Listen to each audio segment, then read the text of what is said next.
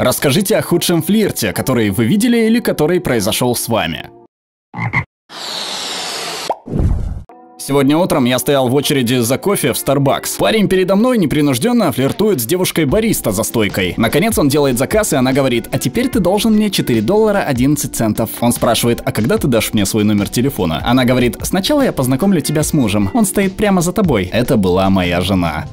Не совсем флирт, но я повел в кино девушку, в которую был очень влюблен. Во время титров я наклонился, чтобы поцеловать ее, а она вскочила с сиденья и закричала «нет» во всю мощь своих легких посреди кинотеатра. Отвозить ее домой было довольно неловко. После этого я стал гораздо увереннее приглашать девушек на свидание, потому что думал, что может случиться хуже этого. Однажды я видел парня, который неудачно пытался подкатить к девушке. Он дождался, пока ее подруга выйдет в туалет и подошел к ней, танцуя дурацкий танец. Он развел руки в стороны, согнул их в локтях и махал вверх-вниз, как курица, пока шел к ней. Потом он сказал «Эй, хочешь потанцевать?» Она ответила «Нет», а он сказал «Хорошо» и удалился тем же способом, пританцовывая и размахивая согнутыми в локтях руками.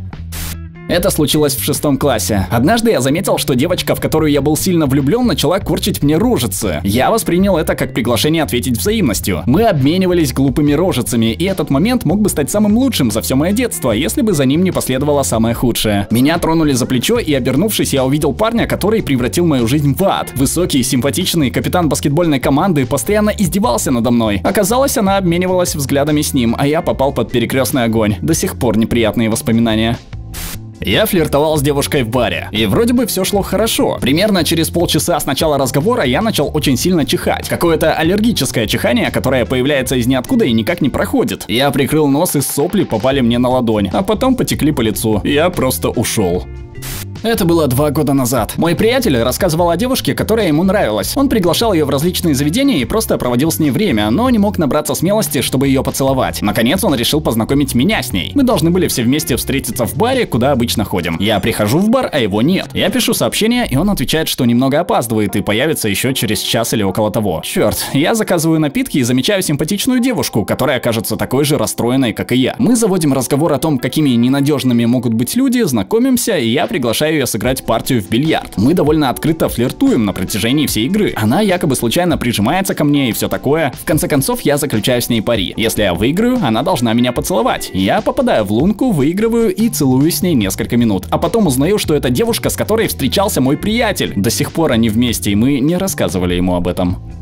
Я работал в торговом центре, и мы постоянно ходили обедать в одну забегаловку. Никто из нас не знал симпатичных девушек-мексиканок, которые там работали. Один парень по умолчанию назвал их всех Мария. Одна девушка показалась мне особенно симпатичной, и я решил пригласить ее на свидание. Однажды я делал у нее заказ, и она спросила, что я хочу добавить в свой буррито. Я сказал твой номер телефона. Поскольку это не было начинкой для буррито, она сделала паузу, а затем повторила вопрос. Я огляделся. Позади меня стояла очередь голодных, нетерпеливых людей. Они стояли, не обращая внимания. Мой запас запал иссяк. Я пробормотал что-то себе под нос, типа «я видел тебя здесь раньше» или что-то в этом роде. Она не поняла, о чем я ее спрашиваю. Она наклонилась, указала на одну из возможных начинок для буррито и сказала «оливки?». В этот момент я понял, что она не говорит по-английски и знает только базовый запас слов, необходимый для приготовления буррито. Я сдался и съел свой обед с поражением. Это было в Сан-Диего. Я впервые приехал в Южную Калифорнию. Я из западной части штата Нью-Йорк и очень сильно сгораю на солнце. Я ходил везде без солнцезащитного крема. Мое лицо опухло и шелушилось, но мне было все равно, потому что я был очень пьян. Мы сидели в баре, и я разговаривал с одной симпатичной девушкой. Мне казалось, что я безумно очарователен. Она прервала меня и сказала, я не хотела тебя перебивать, и ты кажешься очень хорошим парнем, но тебе точно не нужно в больницу. У тебя лицо очень опухло. Полное уничтожение. Я была в баре со своими подругами. Ко мне подошел очень красивый парень, и мы поболтали секунд 10. Потом он подтолкнул ко мне своего застенчивого друга со словами «Это имя парня, он очень классный». В этот момент мне стало ясно, что красавчик изо всех сил пытается помочь своему несчастному неловкому другу научиться общаться с девушками. По какой-то причине это тронуло мое сердце, и я начала вежливо и дружелюбно общаться с этим робким чуваком. Итак, робкий чувак продолжает болтать со мной, а я делаю вид, что не замечаю поднятый вверх большой палец красавчика друга. Он кажется милым парнем, просто просто болезненно застенчивым. Он раза три спросил меня, откуда я родом. Каждый раз, когда я отвечала, он застенчиво смеялся и говорил, извини, я уже спрашивал тебя об этом. Это было забавно. Он реально пребывал в легкой панике, даже просто от разговора со мной. Я довольно положительно с ним общалась, чтобы укрепить его уверенность в себе. В этот момент моя стервозная подруга подходит ко мне, смотрит на парня, хватает меня за руку и говорит, ой, ладно, я тебя спасаю, и оттаскивает меня. Я останавливаю ее, говорю, нет, мне весело, все в порядке. А она буквально тычет в него пальцем, смеется и отпускает какую-то злую шутку по поводу моей благотворительной деятельности. Выражение лица того парня до сих пор заставляет меня вздрагивать, когда я думаю об этом. Он был полностью раздавлен, как будто все его сомнения или критические замечания в свой адрес были подтверждены. Он ушел от меня так быстро, как только мог, абсолютно униженный. Я хотел познакомиться с девушкой в лифте в колледже. Я спросил ее имя и поднял руку, чтобы сделать жест палец-пистолет. Пространство было таким маленьким, что в итоге я дотронулся до ее сисек. Когда я учился в колледже, у меня были довольно длинные волосы для парня. Я еще и рыжий, так что грива была большая. Однажды в очень холодный день я был одет в длинное черное пальто. Я заправлял машину и вдруг услышал позади себя голос. «Эй, детка, хочешь присесть ко мне, чтобы согреться?» Я обернулся, думая, что это должно быть адресовано кому-то другому, но вместо этого увидел очень удивленного старика. Когда он заметил мою бороду, то подпрыгнул, как будто его током ударило. Он начал заикаться. «О, благослови вас Бог! О, благослови вас Бог!» Отступая назад к своему пикапу. А потом наехал на бордюр, пытаясь выехать с заправки. Я спросил ее, не хочет ли она выйти покурить, чтобы мы могли поговорить наедине, а она сказала мне, что у ее матери рак легких. Я извинился и ушел. Однажды в баре мой приятель хотел познакомиться с очень привлекательной девушкой. Он сильно нервничал и долго не решался. Наконец он набрался смелости заговорить с ней. Но когда к ней подошел, то вместо этого ударил ее кулаком в спину и убежал. Это остается самым печальным взаимодействием между мужчиной и женщиной, которое я когда-либо видел.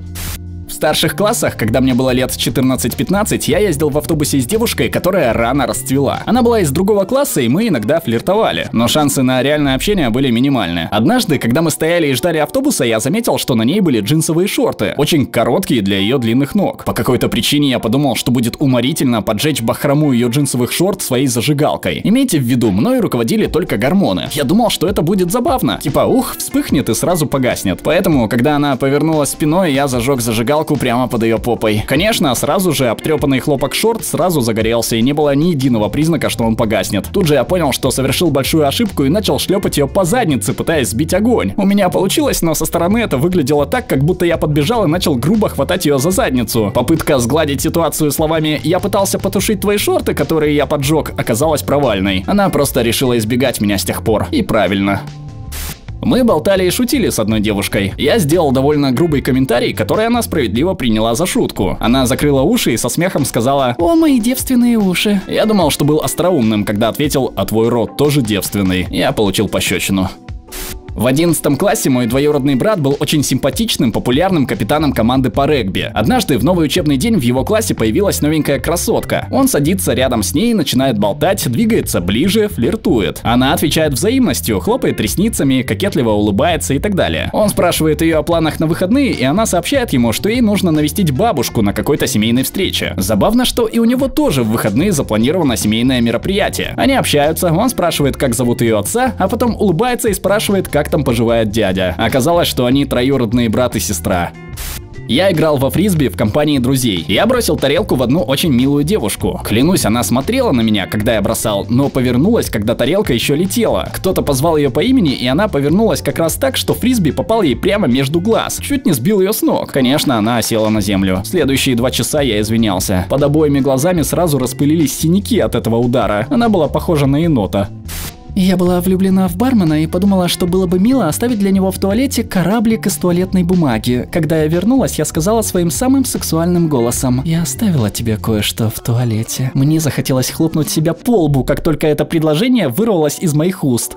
Обязательно подпишитесь на наш канал, чтобы не пропустить новые супер интересные обсуждения. Становитесь нашим патроном по ссылке в описании и слушайте наши выпуски фоном, без рекламы и цензуры. Ну а пока предлагаем посмотреть другие наши видео.